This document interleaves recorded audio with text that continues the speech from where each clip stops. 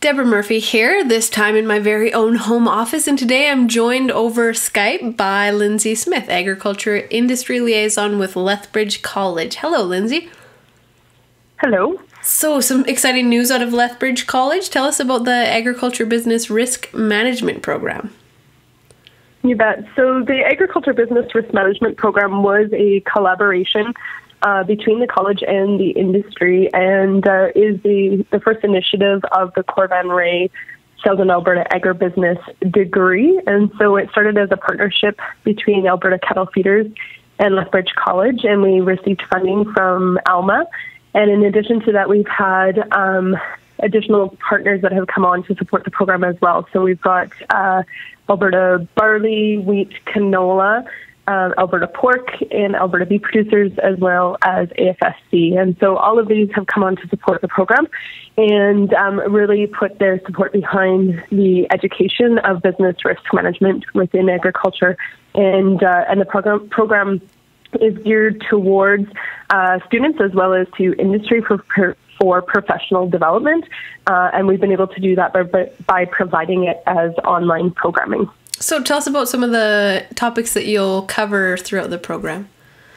You bet. So the program is made up of 11 uh, courses, and within those courses, we've made it really accessible by breaking them down into modules. And a module is equivalent to one month of learning. So uh, a student would uh, start the module at the start of the month and be required to be done by the end of the month.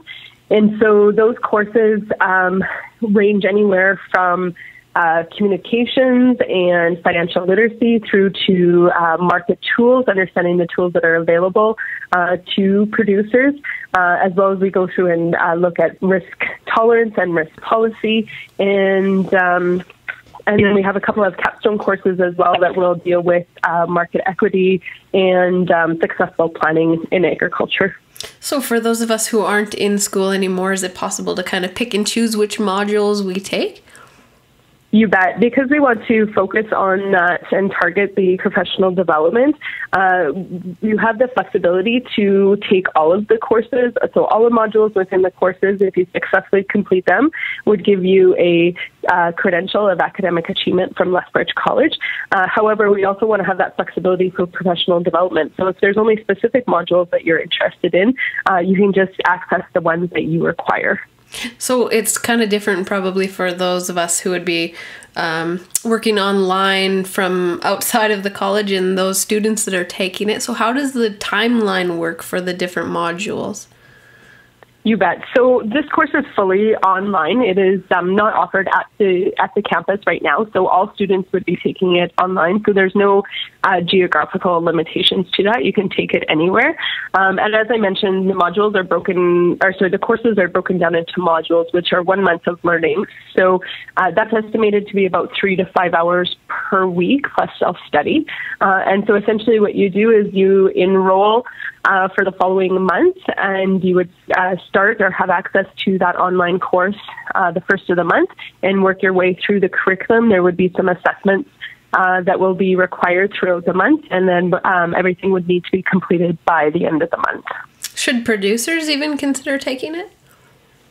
Oh, you bet. This is um, when we visioned and worked with industry um, on building this program. We visioned who uh, the program would target, and so we looked at it and said that this um, is for primary producers, managers, um, owners of businesses, um, but as well can target in, uh, we looked at professional development from an agribusiness standpoint, whether that be in sales and service uh, or from a uh, financial lending, accounting, um, and even government um, was targeted as well. Are there any entrance requirements to take modules in the course? Yeah, so the um, entrance requirement is for a high school diploma to take the um, to take the modules. So if you're interested in taking a few modules, you can apply or sorry enroll with Lethbridge College through Open Studies, um, and that would be a high school uh, diploma. And um, if you're interested in the full program and receiving the, the certificate, then you can apply to um, be in the program, and uh, and that would just be done with the, the registrar's office as well. And are there any kind of system requirements that we'd need to, to work on it from our home office? They're pretty basic as far as, like I said, because they're online. Obviously, you need to have the ability uh, to connect to the internet. Um, but as far as the specific computer requirements, they're pretty mm, um, standard to what everybody would have. Uh, when you enroll in the courses, you will be given um, specific instructions uh, as to what the uh, requirements are for each of the courses. Most of the materials um, are going to be found on the learning management platform system, so that's called Canvas. Uh, so most of the curriculum is found there. There are required readings that will be um, that will link you to specific web pages, um, and then there's a few of the courses that require uh, textbooks, and so those would be up to the student whether to purchase those uh, textbooks for the courses. For sure. So, how much would it end up costing? Uh, maybe even per module, or for the whole course? Would we get? Would you get a discount as opposed to doing a per module basis? Mm-hmm. So each of the modules costs $183. Uh, and then we have the two capstone courses at the end, which really uh, what they do is they help you to apply the concepts and skills that you've learned along the way throughout the modules.